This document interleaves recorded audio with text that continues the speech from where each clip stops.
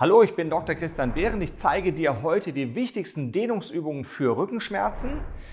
Ganz wichtig ist, die Muskulatur muss zuerst vorbereitet werden. Wie das geht und warum das so ist, das habe ich unten in weiteren Videos schon ganz genau erklärt. Also es ist wichtig, dass du die Muskulatur erst elastisch machst durch eine Elastopressur. Das ist die Voraussetzung, damit ein Muskel sich überhaupt dehnen lässt. Wenn das gemacht ist, ist meistens der Rückenschmerz auch schon deutlich besser und danach solltest du diese ganz wichtigen Dehnungsübungen machen.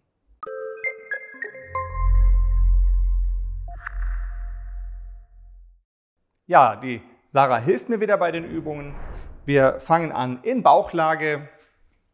Genau. Also, wir fangen unten an mit der Oberschenkelmuskulatur, die wir als wichtigstes dehnen müssen, weil die Oberschenkelmuskulatur ja das Becken nach vorne zieht und dadurch das Hohlkreuz vergrößert. Also, Sarah hat sich auf den Bauch gelegt, dann greifen wir nach hinten und müssen einfach beide Beine anziehen und die Oberschenkelmuskulatur vorne dehnen. Die Sarah ist hier sehr, sehr gut gedehnt. Man sieht, dass hier die Ferse schon an das Gesäß kommt. Das ist nicht bei jedem möglich. Die Dehnung sollte für 30 Sekunden so ausgeführt werden und danach sollten die Knie gestreckt werden für etwa 10 Sekunden, so gut es geht, aber die Füße hier nicht loslassen dabei. Sarah mal bitte die Knie strecken. Und wir sehen, dass wenn sie die Knie streckt, dann geht es hier leicht nach oben. Genau, aber trotzdem die Hände festhalten. Wir wollen nicht das Knie gestreckt haben, sondern wir wollen nur den Muskel angespannt haben. Das für 10 Sekunden machen, so feste wie es geht und dann wieder für 30 Sekunden feste ziehen. Für diejenigen, die schon etwas erfahrener sind oder die noch mehr Dehnung aufbringen wollen, da würde ich empfehlen, etwas hier unter die Knie zu legen. Um die Dehnung zu verstärken, kann man eine Faszienrolle unter die Knie legen. Sarah, einmal hier die Faszienrolle unter die Knie. Mhm. Okay. Und dann ist es aber auch ganz wichtig, die Hüfte vorne auf der Matte zu lassen. Das heißt, während der Dehnung und während der Gegenstreckung immer die Hüfte unten auf der Matte lassen. Die Dehnung machen wir jeweils für 30 Sekunden, dann 10 Sekunden gegendrücken und das werden wir insgesamt dreimal wiederholen, also insgesamt viermal 30 Sekunden und viermal 10 Sekunden. Okay, die wichtigste Übung ist die Dehnung des Hüftbeugemuskels, die Psoas-Dehnung. Dazu ist es gut, das linke Bein in diesem Fall relativ weit nach vorne zu stellen, so dass es ein bisschen mehr als 90 Grad gebeugt ist. Äh, hier das Knie auflegen und den Fuß auch auflegen. Dann die Hand des hinteren Beins nehmen und hier unten in die Gesäßfalte hineindrücken. Und dann hier vorne die Gesäßfalte nach vorne drücken. Nicht das Gesäß nach vorne drücken, sondern in der Gesäßfalte nach vorne drücken und dann möglichst so weit drücken, dass auch das Becken hier leicht zur anderen Seite nach vorne gedreht wird. Den Oberkörper ruhig dabei gerade halten und das, was du merken solltest, ist, dass es hier vorne auf der Vorderseite der Hüfte zu einem relativ starken Zug kommt. Ist dieser Zug nicht stark genug, dann musst du einfach noch versuchen, ein bisschen weiter zu drücken, damit hier vorne der Hüftbeugemuskel gedehnt wird. Der Oberkörper kann gerade sein, das spielt eigentlich keine entscheidende Rolle. Wenn du ein bisschen mithelfen möchtest mit dem Oberkörper, dann den Oberkörper noch leicht ein bisschen nach hinten nehmen. Hierbei musst du für 30 Sekunden die Dehnung halten, anschließend dann die Position beibehalten und das Knie ganz feste in den Boden drücken für 10 Sekunden und zwar so feste wie es geht, ohne diese Haltung zu verändern.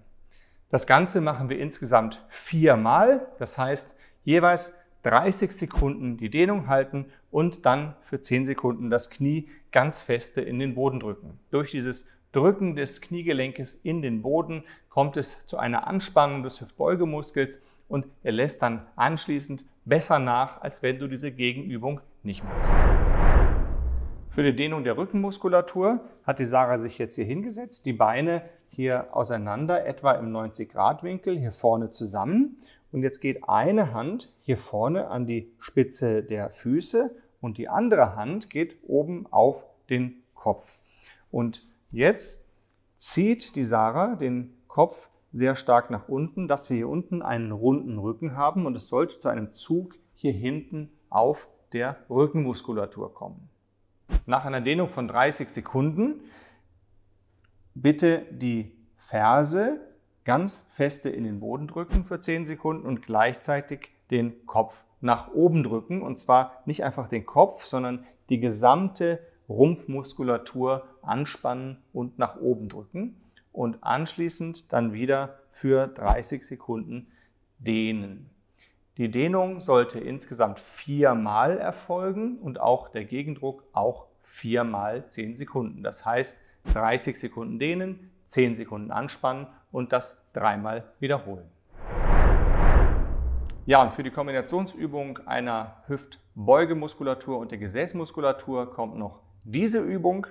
Dafür, das zeigt die Sarah jetzt mal vor, ist es wichtig, ein Bein erstmal nach vorne zu legen und zu einem 90-Grad-Winkel vor den Körper. Wir fangen also immer mit, der, mit dem vorderen Bein an.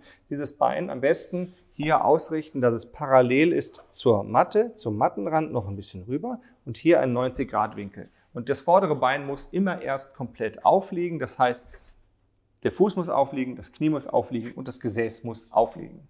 Und danach können wir das hintere Bein nehmen und nach hinten strecken. Diese Übung ist für viele auch sehr, sehr schwierig.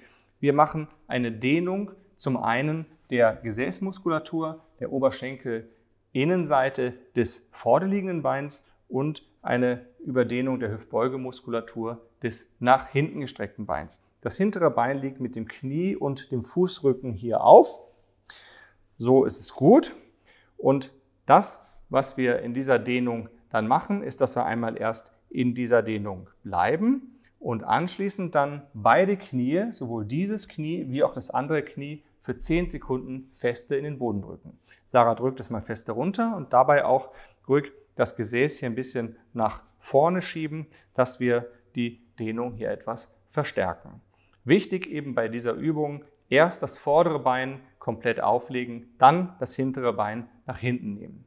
Dann jeweils für 30 Sekunden dehnen und für 10 Sekunden die Knie in den Boden drücken. Das darf die Sarah wieder nachlassen, dann ein bisschen weiter in die Dehnung hineingehen. Und auch das wiederholen wir jeweils dreimal. Das heißt, jeweils immer für 30 Sekunden dehnen, für 10 Sekunden die Knie in die Matte drücken und das Ganze noch dreimal wiederholen. Das waren die allerwichtigsten Übungen. Vielen Dank, Sarah, für die Rückenschmerzen. Ganz wichtig, wie ich es eingangs gesagt habe, ist allerdings vorher die Muskulatur elastisch zu machen. Dann lässt der Muskel sich nämlich viel, viel besser dehnen, als wenn man reine Dehnungsübungen macht. Vielen Dank fürs Zuschauen. Danke an die Sarah. Bis zum nächsten Mal. Dein Surfdog, Dr. Christian Behrendt.